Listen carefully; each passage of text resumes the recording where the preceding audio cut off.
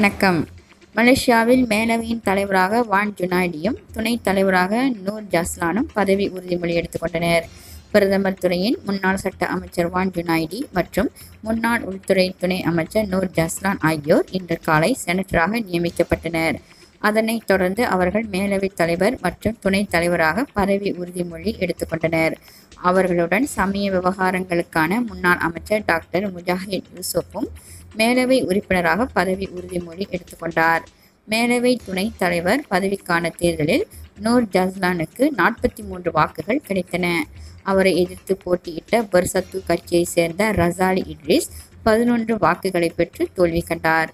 இதனிடையே மேலவையில் தம்மை நியமித்ததற்காக பிரதமர் அன்வார் இப்ராஹிமிற்கு வான் ஜுனைடி நன்றி தெரிவித்துக் கொண்டார். நாடாளுமன்ற அமைப்பு முறையில் தொடர்ந்து சீரமைப்பை அறிமுகப்படுத்துவதில் முனைப்பு காட்டப்போவதாக அவர் தெரிவித்தார். மாநில தேர்தலை நடத்துவதற்கு வழிவிடும் வகையில் வரும் ஜூன் மாதம் இருபத்தி மூன்றாம் தேதி மாநில சட்டமன்றத்தை கலைப்பதற்கு மேன்மை தங்கிய ஸ்லாங்கூர் சுல்தான் ஷராபுதீன் இன்ட்ரிஷா ஷா ஹால்ஹாஷ் ஒப்புதல் அளித்துள்ளார். இஸ்தானா அலாம் ஷா அரச மண்டபத்தில் இன்று காலை நடைபெற்ற மாநில சட்டமன்ற கலைப்பு தொடர்பான அறிவிப்பு நிகழ்வில் மேன்மை தங்கிய சுல்தானின் தனிச் செயலாளர் முகமது முன்னீர் பானி இதனை தெரிவித்தார். தாமா கிட்மான் ஜாலான் லிந்தாஸ் எனும் இடத்தில் காலை மணி ஐந்து நாற்பத்தி ஒன்று அளவில் ஒரு காரும் லாரியும் மோதியதால் ஏற்பட்ட கோர விபத்தில் ஏழு வயது சிறுமி சம்பவ இடத்திலேயே உயிரிழந்தார். மூவர் சிக்கிக்கொண்ட அக்காரில் இருவர் காயங்களோடு மீட்கப்பட்ட நிலையில் அச்சிறுமி சம்பவ இடத்திலேயே பலியானார். முப்பத்தி ஒன்பது வயதான லாரி ஓட்டுநர் எவ்வித காயமுமின்றி உயிர் தப்பினார். விபத்தில் உயிரிழந்த அச்சிறுமியின் உடல் மேல் விசாரணைக்காக போலீசிடம் ஒப்படைக்கப்பட்டுள்ளது.